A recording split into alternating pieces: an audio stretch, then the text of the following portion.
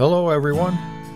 Here's a quick winter update on the HVAC duct booster I installed over the summer.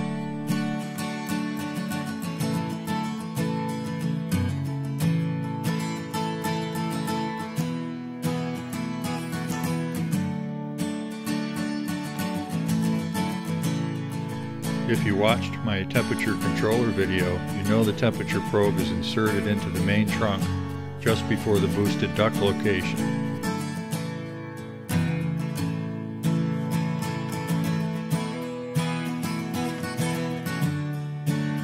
I marked the HVAC booster speed controller with a sliver of blue tape to indicate my summer booster speed position.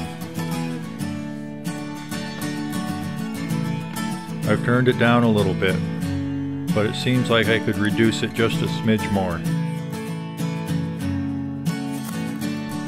The air temperature in the main trunk seems to settle at over 103 degrees Fahrenheit.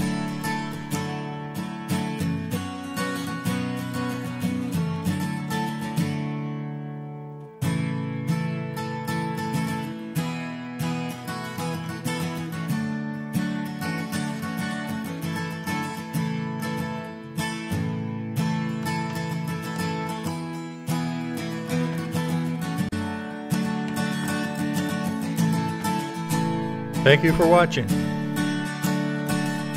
Please like and subscribe.